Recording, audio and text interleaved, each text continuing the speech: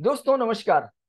Functional foods और nutraceutical ऐसे बज वर्ड्स बन चुके हैं जो कि आजकल हर कोई व्यक्ति यूज़ करना चाहता है अपनी पढ़ाई में, अपना एजुकेशन में एग्जामिनेशंस में, अपनी रिसर्चेज में, अपने राइटिंग में, जो भी कुछ वो लिख रहा है साइंटिफिक डॉक्यूमेंट तो फंक्शनल फूड्स और बज वर्ड्स को वो यूज़ करना चाहता है। इवन न्यूज़ में मैगजीन्स में जो आर्टिकल्स आ रहे हैं, उसमें भी फंक्शनल फूड्स और न्यूट्रास्यूटिकल्स को एक साथ यूज़ किया जाता है। लेकिन अक्सर केसेस में फंक्शनल फूड्स को और न्यूट्रास्यूटिकल को इंटरचेंजेबली यूज़ किया जाता है। एग्जैक्टली exactly इन दोनों के बीच में क्या डिस्टिंक्शन है, इसको हम लोग नहीं जान पाते हैं। बहुत सारे ऐसे कम्युनिटीज हैं जिसमें कि लोग बहुत बार उनको फंक्शनल कह देते हैं कि भाई कैरेट जो है वो फंक्शनल फ़ूड है। ओट्स के लिए तो लोग झगड़ा ही करने को तैयार हो जाते हैं कि साहब ये तो फंक्शनल फ़ूड है ही है, कैसे फंक्शनल नहीं है? और न जाने और बीट रूट और भी बहुत सारे दूसरे एग्ज़ाम्पल जिसको फंक्शनल फ़ूड की तरह कहा जाता है। तो ये फंक्शनल फूड्स होते क्या हैं? न्यूट्राश्यूटिकल्स होते क्या हैं? एक दूसरे से कैसे डिफर करते हैं? इनके बारे में कुछ रेगुलेशंस भी एग्जिस्ट करता है कि नहीं करता है? तो आज के वीडियो में हम इन्हीं सब चीज़ों के बारे में चर्चा करेंगे।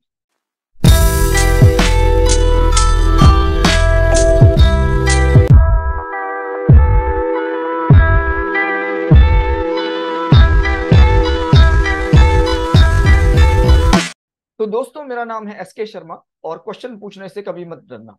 फंक्शनल फूड्स और न्यूट्रास्यूटिकल आज का टॉपिक है और हम लोग चर्चा करने वाले हैं इनके कंसेप्ट के बारे में कि फंक्शनल फ़ूड के कंसेप्ट क्या होते हैं, उनके बीच में क्या डिफरेंसेस हैं, क्या रेगुलेशन एग्जिस्ट करता है और बहुत सारे एग्जाम्पल्स के साथ इसको समझने की कोशिश करेंगे तो बात करते हैं फंक्शनल फूड्स की और उसकी डेफिनेशन की कि फंक्शनल फूड्स की डेफिनेशन बोलती क्या है foods that contain active components that promote health benefits beyond traditional nutrition, इसको फंक्शनल फ़ूड कहा जाता है कि ऐसे फूड्स जो न्यूट्रिशन के अलावा भी हमारी बॉडी को बेनिफिट देते हैं, उसको फंक्शनल फ़ूड कहा जाता है। They are also sometimes known as health food और थेरेपेटिक फूड्स बहुत सारे लोग ऐसे हैं जो इसको हेल्थ फ़ूड और थेरेपेटिक फ़ूड से कंफ्यूज करते हैं।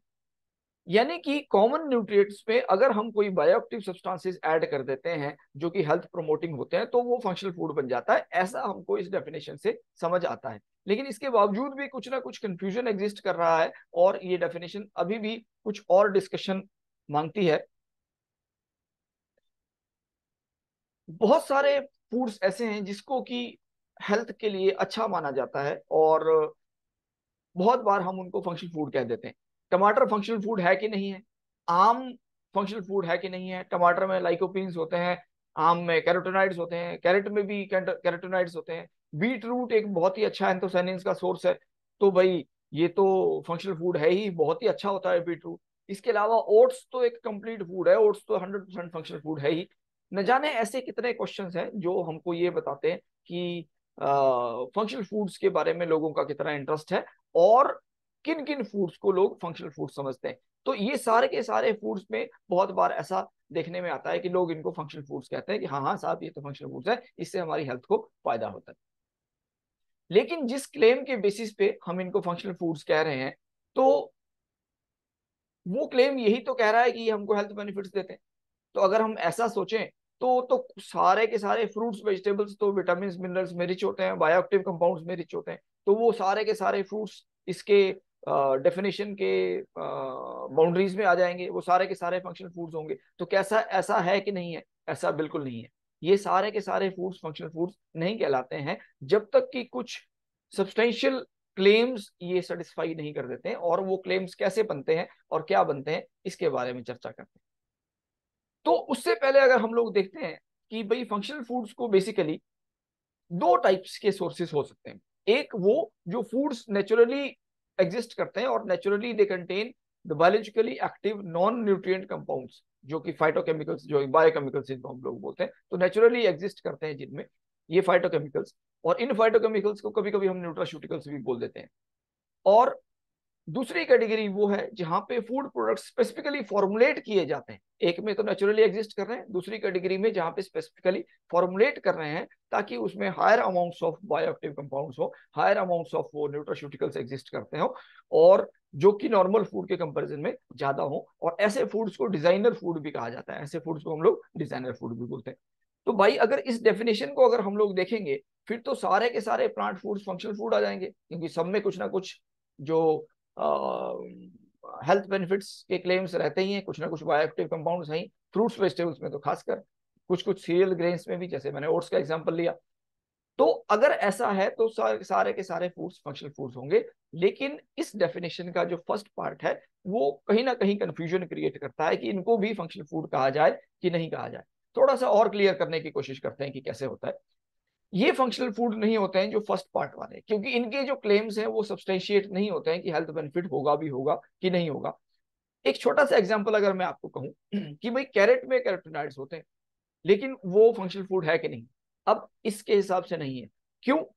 क्योंकि जो कंटेंट कैरेटोनाइड्स का फंक्शनल बेनिफिट्स को एस्टेब्लिश करने के लिए चाहिए, वो कंटेंट हम नॉर्मल डाइट में कंज्यूम नहीं करते। यानी कि हमको बहुत ज़्यादा मात्रा में कैरेट खानी पड़ेगी, तब जाके वो फंक्शनल बेनिफिट हमको मिलेगा। नॉर्मली हम नॉर्मल डाइट में जितनी क्वांटिटीज खाते हैं, उससे हमको बेनिफिट मिलता है हेल्थ को, ठीक है। लेकिन एक जो डिज़ीज़ प्रिवेंशन वाली सिचुएशन जो आती है, वो हमको तभी पॉसिबल हो पाएगी जब हम एक सब्सटेंशियल क्वांटिटी में उसको खाएँगे और वो हम कंज्यूम करेंगे, हमारी बॉडी को वो पर्टिकुलर बायोएक्टिव इंग्रेडिएंट्स मिलेंगे। फिर चाहे वो बायो सॉरी बीट रूट हो, फिर चाहे वो ओट हो, फिर चाहे वो कैरेट्स हो टोमेटोज हो जो भी हो तो ये सारे के सारे फंक्शनल फूड्स तभी होंगे जब सब्सटेंशियल क्वांटिटीज में हम उनको कंज्यूम करते हैं और वो बायोएक्टिव कंपाउंड हमको सब्सटेंशियल क्वांटिटीज में मिलता है। एक टर्म है जिसको बोलते हैं हेल्थ फूड्स हेल्थ फूड्स भी आजकल आपने देखा होगा बहुत सारे लोग यूज़ करते हैं। ये बेसिकली एक अम्ब्रेला टर्म्स है जिसमें कि सारे के सारे आ, जो बजवर्ड्स यूज़ किए जाते हैं ऑर्गेनिक फूड्स होल फूड्स लोग बोलते हैं कि कम होल फ़ूड होना चाहिए, जिसमें से कुछ नहीं निकाला हो specially in case of grains whole grains हम लोग को यूज़ करना चाहिए, गेहूँ को आटा खाना चाहिए, मैदा नहीं खाना चाहिए things like that then nutrient dense foods मैंने एक पिछले वीडियो में बताया था nutrient dense energy dense foods में क्या डिफरेंस होता है? देन डिज़ाइनर फूड्स जिनको स्पेसिफिकली डिज़ाइन किया जाता है in order to solve the problem of a particular type of individuals particular group of individuals then we have the functional foods जो कि अभी हम लोग चर्चा कर रहे हैं कि फंक्शनल फूड्स क्या हैं। डाइटरी सप्लीमेंट्स जो कि एज ए सप्लीमेंट हम यूज़ करते हैं। नॉर्मल डाइट के साथ नॉर्मल कोर्स ऑफ़ मील्स में नहीं खाते हैं। न्यूट्रास्यूटिकल्स जो कैप्सूल की फॉर्म में एग्जिस्ट करते हैं, और भी न जाने कितने, ये सारे के सारे इनकम्पास करते हैं हेल्थ फूड्स के अंदर। हेल्थ फ़ूड डेफिनेटली वो सारे फूड्स हैं जो हमारी हेल्थ को पॉजिटिवली सपोर्ट करते हैं। लेकिन सारे के सारे फंक्शनल फूड्स हैं कि नहीं है, ये एक सवाल है, और इस पे और ज़्यादा थोड़ा सा एम्फोसिस देने की ज़रूरत है।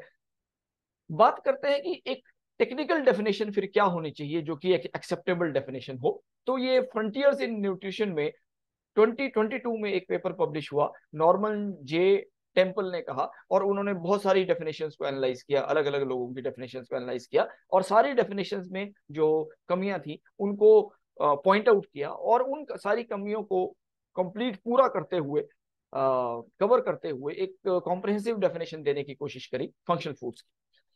तो ये डेफिनेशन कहती है कि functional foods are novel foods novel foods means जो फूड्स नॉर्मली एग्जिस्ट नहीं करते. Novel foods means new foods जिनको बनाया जाता है. नॉर्मली वो एग्जिस्ट नहीं कर रहे हैं. They are the novel foods that have been formulated जिसको फॉर्मुलेट किया गया. So that they contain the substances और द लाइव माइक्रो ऑर्गेनिजम्स तो उसके भीतर वो सब्सटेंसेस हो, वो बायोएक्टिव कंपाउंड्स हो, या फिर लाइव माइक्रो ऑर्गेनिज्म हो that have a possible health enhancing और disease preventing value possible health enhancing और डिज़ीज़ प्रिवेंटिंग वैल्यू इतना उसके अंदर वैल्यू इतना उसके अंदर पोटेंशियल होना चाहिए ताकि डिज़ीज़ प्रिवेंट हो जाए.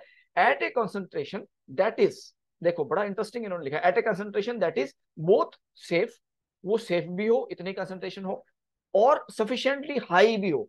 Sufficiently high to achieve the intended benefit तो इस बेनिफिट इस डेफिनेशन में वो सारा कवर आता है। जैसे मैंने कहा कि कैरेट एक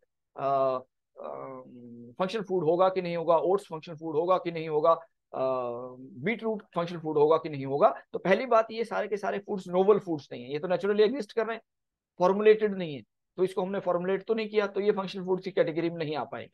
दूसरा they they should contain substantial quantities of substance जो ना तो बहुत ज़्यादा हो जो कि उसको अनसेफ बनाते लेकिन उसके बावजूद भी इतने ज़्यादा हो कि वो पॉसिबल हेल्थ एनहांसमेंट या डिज़ीज़ प्रिवेंटिंग वैल्यू उसकी बनी रहे तो ये बड़ा इंपॉर्टेंट तीनों चीज़ें हैं formulated the term formulated into the definition that they are novel and formulated means not naturally existing the possible health enhancing or disease preventing value and at a concentration जो कि safe भी है और sufficiently high भी है ये सारी conditions को जब फुलफिल करता है कोई पर्टिकुलर फ़ूड तभी हम उसको फंक्शनल फ़ूड की कैटेगरी में डालेंगे। द एडिड इंग्रेडिएंट्स में include the dietary fibre phytochemicals other substances और द प्रोबायोटिक्स जो एडिड इंग्रेडिएंट्स है फॉर्मुलेशन के टाइम में, ये सारे के सारे उसमें हो सकते हैं। तो ये कॉम्प्रिहेंसिव डेफिनेशन टेंपल ने दी। ट्वेंटी ट्वेंटी टू में फ्रंटियर्स इन न्यूट्रिशन में इसको पब्लिश किया गया।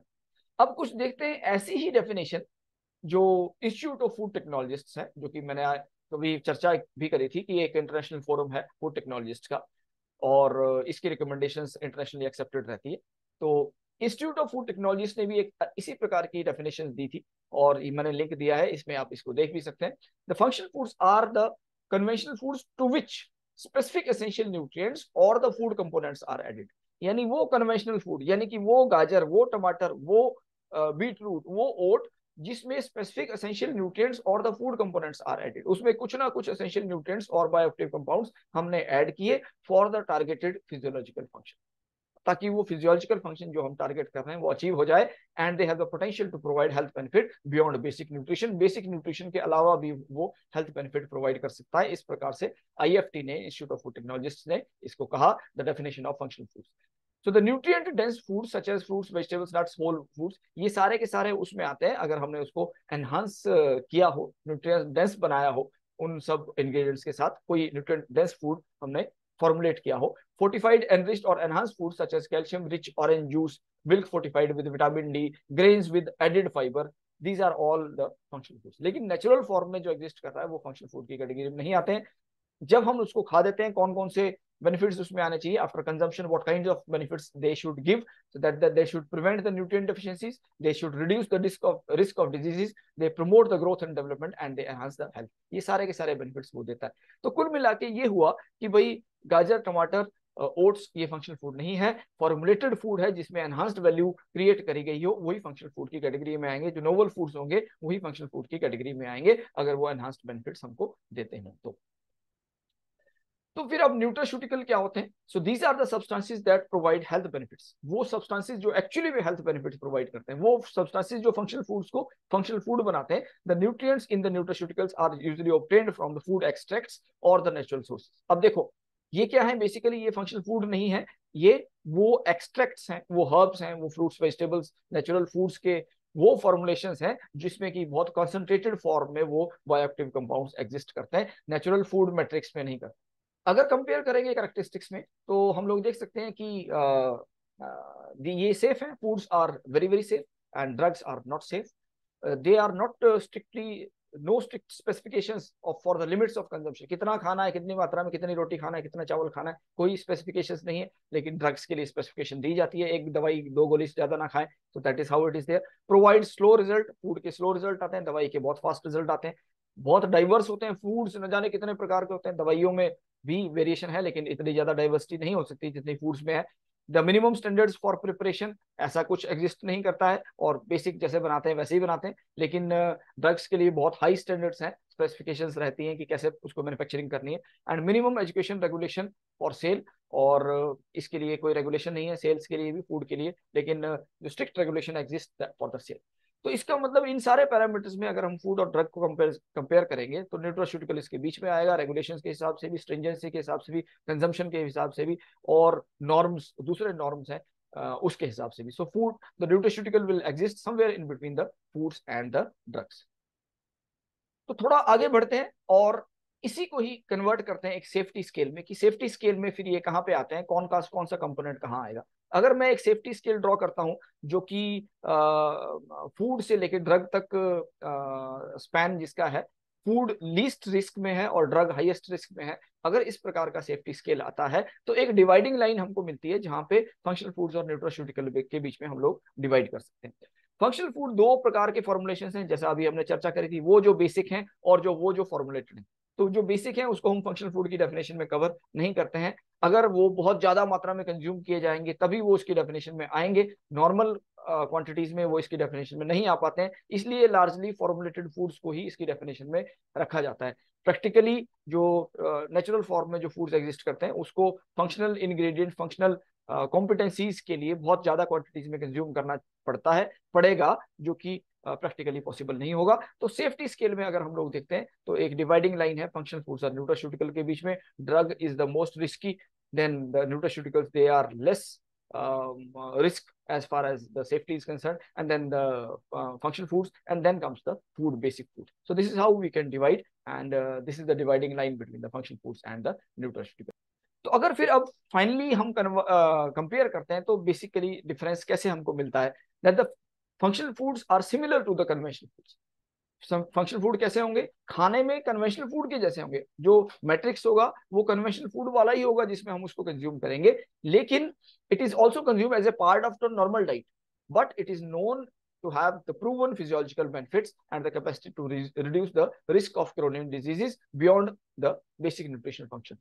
तो नॉर्मल फ़ूड मैट्रिक्स में नॉर्मल फ़ूड में जैसे सिर्फ़ बेसिक न्यूट्रिशन फ़ंक्शंस रहते हैं एनहांस्ड फ़ंक्शन नहीं रहते हैं फंक्शनल फूड्स में एनहांस्ड फ़ंक्शंस रहते हैं और ये प्रूवन फिजियोलॉजिकल बेनिफिट्स हमको देता है। तो इस प्रकार के फ़ूड को फंक्शनल फ़ूड खाएँ, कहेंगे। लेकिन मैट्रिक्स क्या होगा? नॉर्मल फ़ूड मैट्रिक्स ही होगा। न्यूट्रास्यूटिकल में नॉर्मल फ़ूड मैट्रिक्स नहीं होता है। It is also not consumed as a part of normal meals nutraceutical को नॉर्मल मील्स की तरह नहीं खाते हैं, हम लोग डाइटरी सप्लीमेंट्स की तरह इसको यूज़ करते हैं, और उसके बेनिफिट्स तो होते हैं, बहुत कॉन्सेंट्रेटेड फॉर्म में उसमें बायोएक्टिव कंपाउंड्स वो रहते हैं। So it is a basically a diet supplement तो ये दोनों डिफरेंसेस आते हैं। इंडियन रेगुलेशंस जो हैं, जो फ़ंक्शन फूड्स और न्यूट्रास्यूटिकल को गवर्न करते हैं, आप देख सकते हैं food safety and standards health supplements nutraceutical food for special dietary use and food for special medical purposes functional food and novel food ये एक रेगुलेशन दिया गया 2016 में। So whatever existing regulations are there so they are mentioned in this regulation of the FSSAI आप FSSAI की website पे जाके इस रेगुलेशन को देख सकते हैं। So the uh, FSSR uh, regulations for functional foods and nutraceutical 2016 similarly organic food के लिए रेगुलेशन है 2017 में जो कहीं ना कहीं हेल्थ फूड्स को कंप्लाई uh, करता है और उसके कंप्लायंस के लिए हम लोगों को इसको देखना चाहिए। फोर्टिफाइड फूड्स के लिए अगर फोर्टिफाइड फ़ूड आप बना रहे हैं तो उसके लिए रेगुलेशन 2018 का एक रेगुलेशन एग्जिस्ट करता है। और एडवर्टाइजमेंट और क्लेम्स के लिए कि भाई फंक्शनल जैसे मैंने शुरू में कहा था कि market is flooded with the functional ingredients तो उनके एडवर्टाइजमेंट क्लेम्स के लिए एक रेगुलेशन है 2018 में आया। वो भी एफ़ की वेबसाइट पर आप लोग विज़िट कर सकते हैं देख सकते हैं। सो so, ऐसे करके this is what is the existing regulation of the functional foods in India आज के दिन में यही रेगुलेशन एग्जिस्ट करता है। तो बात करेंगे कंपैरिजन की कि भाई कंपैरिजन कैसे कर सकते हैं? What is the differentiating characteristics between the food and the functional foods and the nutraceutical तो लेफ़्ट हैंड साइड में क्राइटेरिया हमने डिज़ाइन किया और फिर डिफरेंसेस बताने की कोशिश करी है। So first criteria says that what does it provide ये प्रोवाइड क्या करता है? Food so food provides the basic nutrients the carbohydrates the fats the minerals the vitamin the proteins तो अगर फ़ूड है तो इन फ़ूड को ये सारी चीज़ें प्रोवाइड करनी चाहिए। कुछ पिछले वीडियोस में मैंने फ़ूड की डेफिनेशन भी बताई हैं, उसमें आप पढ़ सकते हैं और कुछ कुछ बायोएक्टिव कंपाउंड्स भी उसमें हो सकते हैं। लेकिन फंक्शनल फ़ूड जो होंगे, उसमें बेसिक न्यूट्रिशनल एलिमेंट्स होंगे, जैसे protein fat carbohydrate vitamin mineral ये तो होंगे ही होंगे, लेकिन बायोएक्टिव कंपाउंड्स होंगे उन पर्टिकुलर हाई कंसेंट्रेशन में ताकि वो हमको बेनिफिट देंगे फिजियोलॉजिकल और न्यूट्रोस्यूटिकल में बेसिक न्यूट्रिशनल इंग्रेडिएंट्स नहीं होंगे, नहीं है तो भी चलेगा, लेकिन बायोएक्टिव कंपाउंड्स होंगे कॉन्सेंट्रेटेड फॉर्म में। तो बेस, जो फ़ूड है फंडामेंटल, उसमें बायोएक्टिव है या नहीं है, इससे बहुत ज़्यादा डिफरेंशिएट नहीं करता है, लेकिन फंक्शनल फूड्स में डेफिनेटली उन हाई कंसंट्रेशन में होने चाहिए, लेकिन बायोएक्टिव जब न्यूट्रोसिटिकल्स की में एग्जिस्ट करते हैं तो बहुत ही हाई कंसंट्रेशन में एक्सट्रीमली हाई कंसंट्रेशन में वो रहते हैं तो ये न्यूट्रोसिटिकल्स कहलाते हैं। अब फंक्शनल सब्सटेंसेस क्या है?